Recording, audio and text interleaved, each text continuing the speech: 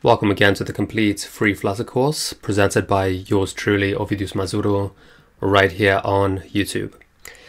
In these next couple of videos, we're going to go over layouts in Flutter. And I do want to quickly say that Flutter has a lot of widgets for layouts if I just throw all of them at you at the same time, it's going to be completely overwhelming. Uh, so what we're going to do is introduce some of the most important important ideas and concepts in these next couple videos. And then the rest of the widgets we'll use when we're building actual projects later on. So we're not going to get to all of them now, but we will eventually, no worries about that. And another quick note, initially I was planning on making just one longer video about Flutter layouts, but it ended up being a bit too long. so what I decided to do instead is split it up into the two different videos and then an exercise video at the end. So yeah, if you guys have missed your exercises, we will be having one to practice our layouts. Okay, but that said, let us jump straight in. So you can see that, and this is from the second video, I'll get rid of this for now. You can see that I've started with my emulator running and in my main.dart file in a new folder which I called, I think it's layout, but the name is irrelevant. Uh, you guys can start a new project, call it whatever you'd like. You could also use the Hello World project from last time. That's also fine. And once you have that, I've deleted everything Slightly differently from last time, in the main function, I've used an arrow function. The only reason I've done that is because last time I did not use an arrow function. Uh, last time, maybe you guys remember, I had this. And I just wanted to show that both of them are correct. Uh, you can either have the long form function or the arrow function. I didn't want you guys to think this was the only way, so switching it up. And then in the My App widget, which I've created, I have my Material app first. Uh, material app, remember from last time, is something which we haven't gone into yet, but it gives us things like routing, it lets us go to different pages, uh, a lot of that stuff, theme data, so some a lot of important things, but not for these super simple programs we're making now. But I do want you guys to get into the habit of always having one of those. And then I have a scaffold. Uh, the scaffold, again, remember from last time, is something which gives us a layout for the page. And same as Material app, it's something which we haven't gone into yet. It will give us a lot of useful things in the future, like the app bar. It can give us the tabs on the bottom or even on the top and that kind of thing. Um, but we're not using it yet. But again, I want you guys to get into the habit of having Material App and Scaffold. And then we get to what we're actually doing today, which is I built this layout widget, which is defined down here, class layout extends stateless widget. And the only thing the layout widget is doing right now is returning an empty container. And the reason I have an empty container is because I can't return nothing, right? I need to return something. So yeah, there you go. And if we look here, we can see it's just an empty white page. The reason it's white is because the default background color of the scaffold is white. But one thing I'm going to do to start things off is I'm just going to explicitly say background color.colors.white so you know exactly where this is coming from. And you can see refreshing it has done nothing because nothing has changed. And one really quick note, if I was using a linter, and if you're a beginner, if you don't know what that means, don't worry about it. But for the more advanced guys, if I was using a linter, this would give me an error right here because this is dead code. It's doing what the default is, and I probably shouldn't be doing this, but it's just for illustrative purposes this time. Leaving that aside, let's go into our layout widget here. You can see we have a container. A container is our most basic of layout widgets. It's it's like a box, a box in which we can put anything and it gives us the ability to move things around in the box, as well as decorating the box and that kind of thing. So containers we will use absolutely all the time to build our layouts and have things where we want them to be. Now we're going to take our container and the first thing we're going to do is give it a color so we can more clearly see how much space it's taking and where that space is. I'm just going to give it a color of deep purple. I'm going to save this and refresh this. And we can see the entire page has turned deep purple. So what that, that means is that if I have just a container with no children in a scaffold, it's taking the maximum amount of space that it has available. That's why the background changed everywhere. But notice what happens when I give it a child. If I give it a child of a text widget which has nothing in it, so it won't take any space, and save it and reload this, it's gone. It's not here anymore at all. Now to really illustrate what's happening, I'm going to change this to say hello world. Save it and refresh it. If we look really carefully, at the top here, we can see some purple thing and I can't make out the text. It probably says hello world. What I'm going to do, and I wasn't really planning on going over this widget, but just to help us along, I'm going to control click on container, click wrap with widget, and here safe area. Control shift I to format this for me, control S to save and refresh again. Now we can see hello world with that small container right here. And really quickly, so safe area is a widget which avoids the top status bar here. And also, if you have buttons, it can avoid this area as well. So you'll often see people using safe area as one of their root widgets and everything else will be a child of that. So what I was hoping to illustrate through this is that now that we have a child, our container is taking the minimum amount of space it can. And notice what happens if I decide to give this a style of font style, it's text style actually, and a size of 50, and a font size of 50, and refresh this, the container is automatically going to resize itself exactly as needed, but it's still taking the minimum amount of space it can. So then what are we going to do if we don't want it to take the minimum amount of space? Well, I can go in my container and give it a height property. And I could just give it a really big number. By the way, don't do this. this is just an example. And if I reload it, you can see it has taken all of the space it can. Um, but this looks ugly. Don't do this. Instead, Flutter has included a, um, a constant which we can use called double dot infinity. And double dot infinity is just going to be that, a big number, but it doesn't look like a random number. it's more clear what your intent is when you use double dot infinity. So I can refresh that, does the same thing. Similarly, I can give it a width of double dot infinity.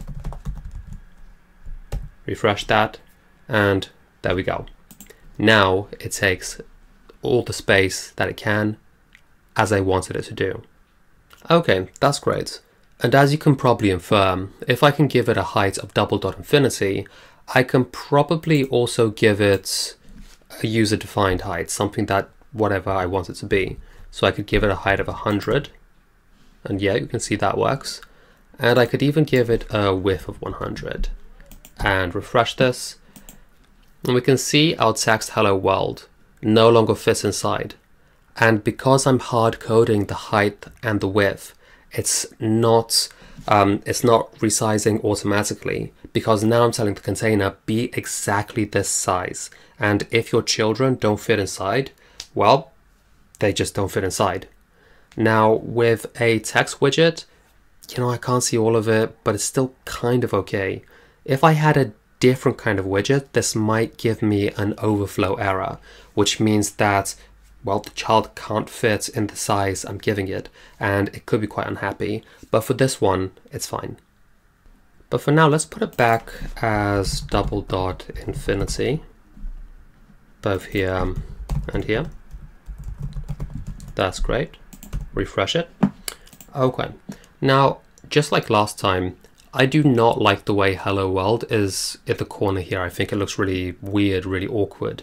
So um, I could do a few things. Uh, let's say I just want it to be in the center. Well, I could take my container and wrap this in a center widget and save it. And nothing happened. Well, that, that's weird. I wrap my container in a center widget, so why is Hello World not in the center? Well, center is the parent of container. So the total container is being centered in the safe area. The safe area, of course, is the parent of center. But Hello World, which is the child of container, is not being centered in the container. It's the container being centered. So we obviously do need to be quite careful where we put our widgets. It does matter the position, what we wrap in what. Okay, so this was not what I wanted. So I'm going to remove this widget. So control click, remove here. And instead I'm going to take my text, control click, wrap with widget, and give this center, control shift I, refresh. Okay, so that looks much better. But do you know what? I think it looks kind of strange how it's exactly in the center. And this is probably a design thing you'll uh, notice later on. If it's dead in the center, it almost looks like it's not in the center because it looks like it's too far down. What I would really want is I'd want this text to be higher up, maybe around here, and then it's just going to look a bit more pleasing to the eye. Um, but center put it in the center. so it seems I'm not going to be able to do that with this widget. So yeah, that's fine. I'm just going to get rid of that.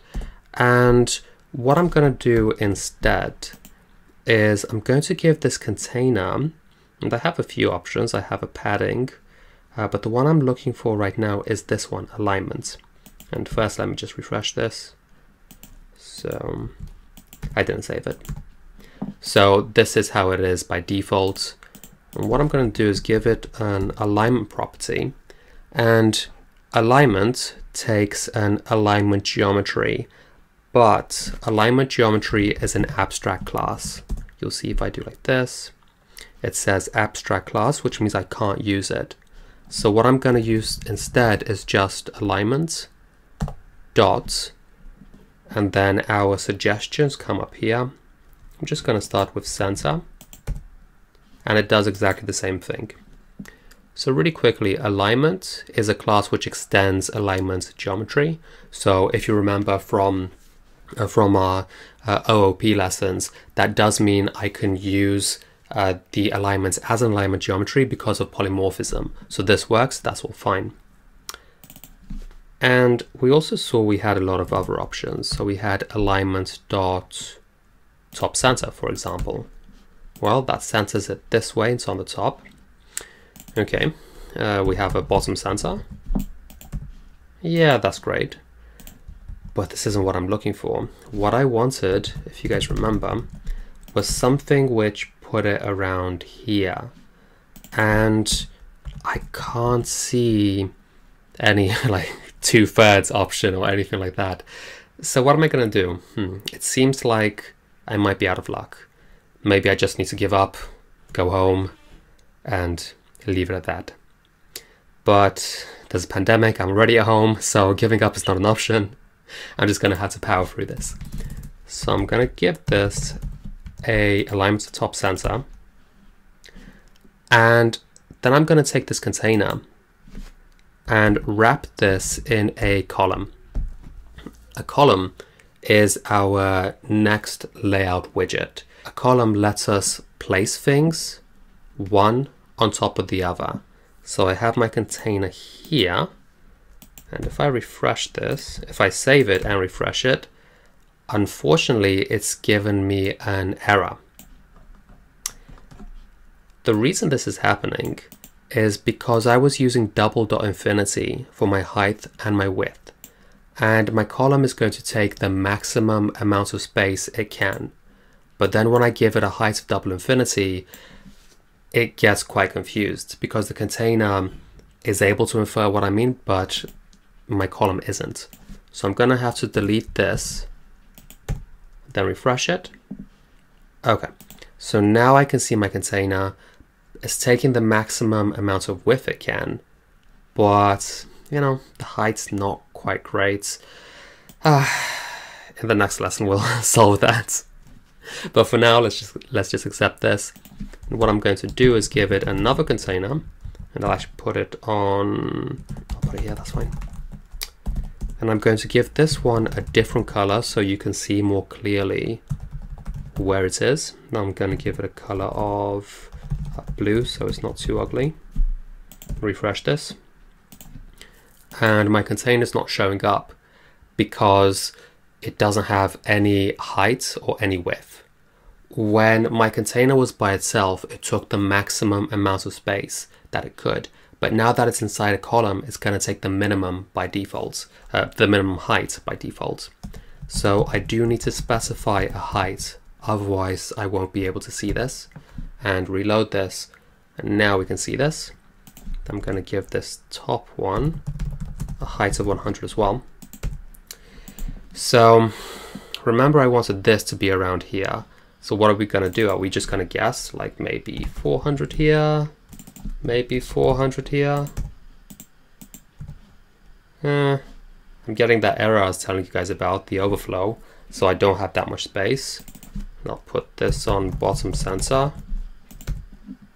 Yeah, this doesn't look how we want it to, and this is obviously the wrong way of doing it. Um, you could try to hard code it, it's not a good thing. What we're going to do is get rid of these two, save it, and then from my first container, I'm going to control click, wrap with widget, and use expanded. And then from the other one, control click, expanded, control shift I to format, and refresh this. Okay, now it's starting to look a bit better. What expanded does is expanded tells my containers to take the maximum amount of space they can while inside the column. If we just tell the container to take the maximum amount of space just using height double infinity inside column, it's gonna throw us an error, it's not gonna work. But by using this expanded property, Flutter is able to calculate how much space to give it so I don't get that error. But what's even cooler than this is so I don't know if you guys are familiar with web development at all. Uh, I guess a lot of you guys would be. If you guys remember Flexbox from CSS, Flutter works in a very, very similar way to that. And in fact, it's very similar also to React Native if you've ever worked with that. So I can give expanded a flex, which tells it like a proportion to take. By default, flex is 1 on each of them. So if I give flex 1 to each, refresh, nothing happens. But watch what happens when I change this flex to 2. So now this flex is twice of this one, and I refresh that. Now this is going to take twice as much space. So you can see when I use flex with some number, Flutter is going to calculate how much space it has in total and then divide that by the total numbers. So in this case, 1 plus 2 is 3. So this gets one third of the space and this gets two thirds of the space. What's really cool about this is that means I can give it very, very precise numbers. Um, I could have something completely random like I could have a 51 and 49 uh, to simulate percentages.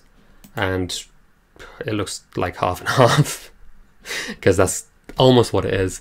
But I'm just trying to show how you can have more precise things. And in this case we can test out a few numbers. What if I try 2 here 3 here? How does that look?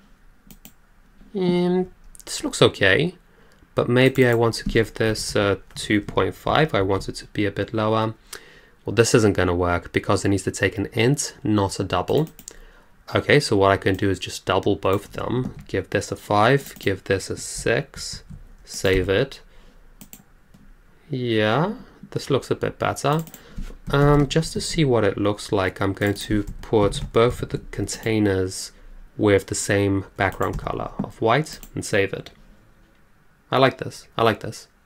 This is how the layout actually works. In reality, I have two different containers and this is helping me put things where I want them to go. But then the user doesn't see that because I'm not I'm not showing the different background colors. I'm just having them all look the same. So it looks like one single piece, one single canvas, one single page, when in reality, that's not what's happening at all.